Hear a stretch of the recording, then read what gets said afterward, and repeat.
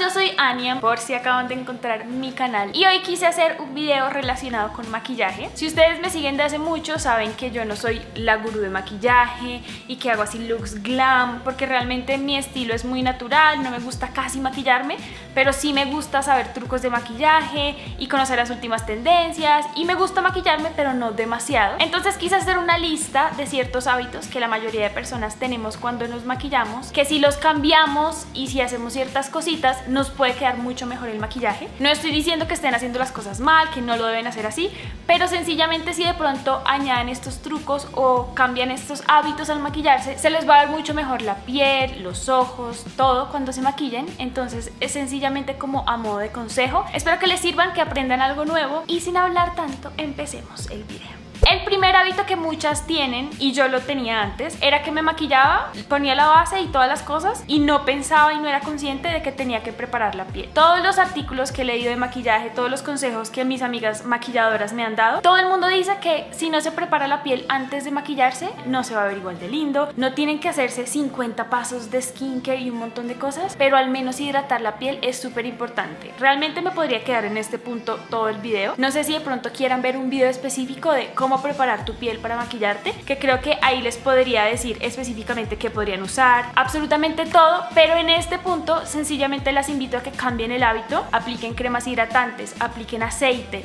apliquen protector solar, obviamente. Hay un millón de productos que pueden utilizar antes de maquillarse que les van a ayudar a que la base sea más luminosa, a que les dure todo el día, a que si de pronto tienen un evento y llegan al evento y los ven, no sé si les ha pasado que ven a una persona en vivo y el maquillaje se les ve súper pastoso y uno dice como y esa persona tenía la cara como con una textura rara. Esas texturas se dan porque uno no prepara la piel. Les voy a mostrar rápido las cosas que yo tengo de preparación de piel. Ustedes pueden utilizar las que tengan, pero nunca omitan este paso. Tienen que entender que si van a ir a un evento o si van a ir a una boda, claramente la preparación de la piel tiene que ser como más profesional. Pero para el diario, súper sencillo. Cuando salgan de la ducha, obviamente después de haberse lavado la cara, se aplican una crema hidratante que vaya con su tipo de piel. Después de la crema hidratante, se aplican el bloqueador y ya cuando se vayan a maquillar, entonces pueden utilizar un primer que les ayude a cerrar los poros, a que la base quede más linda. Y si quieren que la piel sea luminosa, pueden aplicar un aceitico y de esta forma la base les va a quedar súper linda. Ese es como súper rápido lo que yo utilizo. Si quieren que enfatice más en este tema, escríbanlo en los comentarios y yo les hago un video dedicado a eso.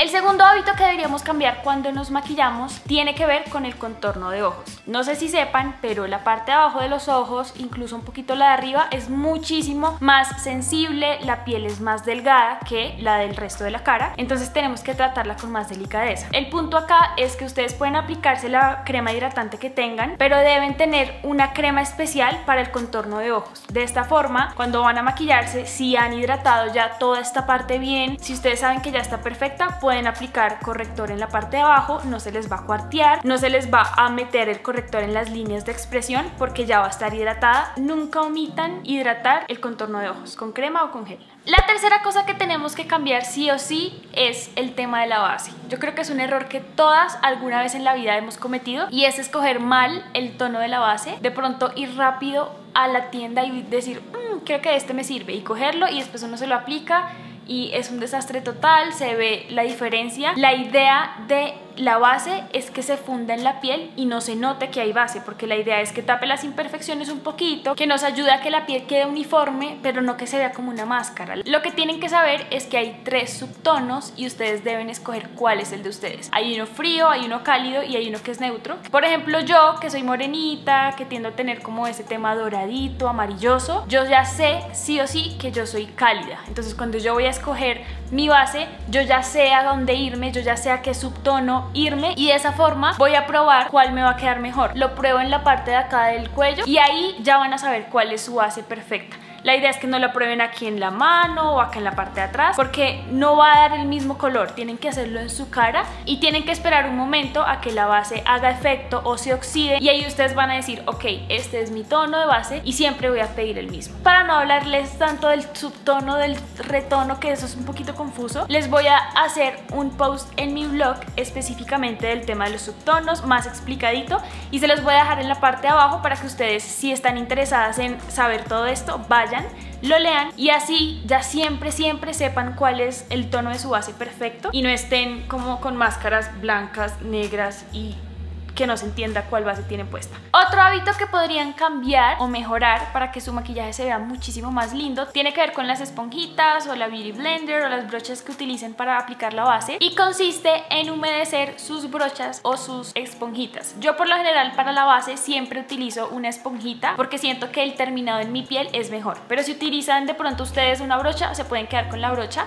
La idea es que siempre la humedezcan porque cuando la humedecen es muchísimo más fácil difuminar la base, la piel queda más luminosa, se ve más natural, el terminado es más lindo, no se arma textura, mientras que si aplican la base con una esponja que está súper seca, que tienen por allá guardada quién sabe hace cuánto, y empiezan a intentar difuminar la base, no les va a quedar bien, no va a ser fácil difuminar, se les va a marcar, se va a armar textura, va a quedar como un embolate ahí que no es tan chévere y la piel no se va a ver linda. Siempre, siempre humedezcan sus brochas un poquito, puede ser con agua de rosas o si tienen la Beauty Blender pueden meterla literal en un vaso con agua, ella va como a crecer y la piel les va a quedar divina. Inténtenlo, cambien este hábito y así el maquillaje se les va a ver súper lindo. Otra cosa que podrían mejorar tiene que ver con el labial. Y no hay nada más lindo que ver unos labios bien maquillados y que se vean perfectos, como en un lienzo perfecto. Y esto solo pasa si preparan sus labios. Así como también hay que preparar la piel para la base y para todo lo que vamos a aplicar, los labios no se pueden quedar atrás, no es como que no sean parte de la cara. Si sienten que van a ir a un evento y se van a maquillar y tienen todo preparado, pero sus labios están con cueritos o de pronto muy secos, sencillamente tengan un exfoliante casero que yo ya les he mostrado en mis videos de hábitos cómo hacerlos. Azúcar con un poquito de aceite antes de aplicarse labial, no se demoran nada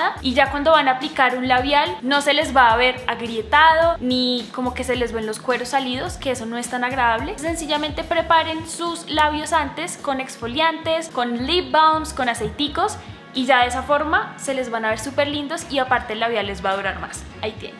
Este otro hábito que podrían mejorar también tiene que ver con los labios y es que regularmente cuando nos maquillamos los labios lo hacemos rápido, cogemos el labial, taque taque, listo, ya nos fuimos pero si queremos que los labios se vean delineados más lindos, si queremos darles forma, que se vean más bonitos, el truco también está en utilizar un delineador antes del labial. Pueden comprar delineadores de sus colores favoritos, digamos yo por lo general siempre tengo tonos naranjas, tonos rosa, tonos rosa palo, tonos vino y lo que hago es que antes de aplicarme el labial completo, cojo el delineador de labios, lo aplico en toda la línea con mucho cuidadito, relleno un poquitico hacia adentro con ese mismo delineador y luego aplico el labial. O sea, ahí ya no se va a ver como que me salí con el labial, que no tiene forma, que me quedó una parte más gruesa que la otra, sino que van a quedar más lindos y realmente lo he hecho y sí he visto el cambio. Uno diría como esta vieja si se exageraba con lo del delineador, cualquiera se puede aplicar labial.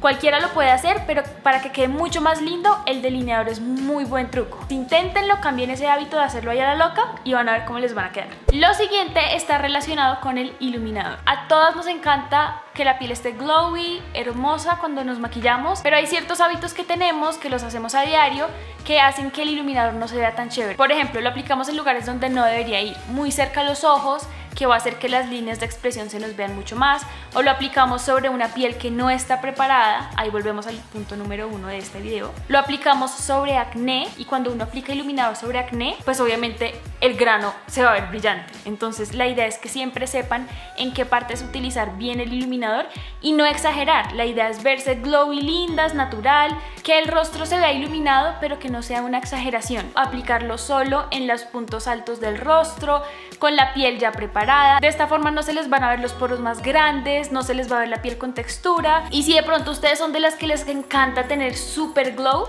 váyanlo construyendo. Entonces primero apliquen un poquito, van mirando, después vuelven y aplican otro poquito, pero no se vayan de locas y empiecen a hacer así porque no se va a ver tan cool y la piel se les va a ver súper pastosa, así que utilicen muy bien el iluminador. Y el último hábito que deberíamos cambiar es ya digamos que para concluir el video y tiene que ver con que muchas veces no dejamos descansar la piel. Nos maquillamos todos los días, nos empastamos la cara con base todo el tiempo, nos aplicamos base pesada un día tras otro y no dejamos que nuestra piel tenga un día de descanso. Si pueden una vez a la semana, puede ser el domingo, puede ser el sábado, un día donde no tengan que de pronto ir a algún evento, dejen descansar su piel, consiéntanla con mascarillas, con cremas, con serums para que la piel respire, para que se hidrate, para que esté más linda y ya de esta forma, digamos que si le dan ese día sin maquillaje a la piel, cuando se maquillen, la piel se los va a agradecer y se va a ver lindo. Entonces tengan como un día off de maquillaje, de pronto aplíquense un poquito de BB cream o de bloqueador con color y ya está, pero dejen descansar la piel al menos un a la semana de maquillaje y van a ver cómo les va a cambiar.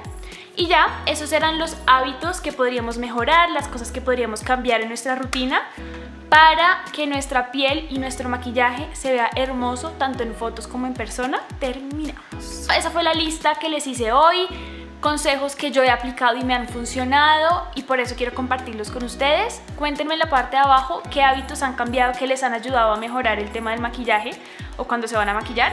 Cuéntenme cuál fue su favorito de este video y en la parte de abajo les voy a dejar el link de mi blog donde pueden de pronto entender un poquito más el tema de cómo escoger el tono de su base y si quieren que haga un video específico de cómo preparar la piel antes de aplicar maquillaje para que se vea súper linda, escríbanlo en los comentarios y yo me enfoco en hacerles ese video específicamente.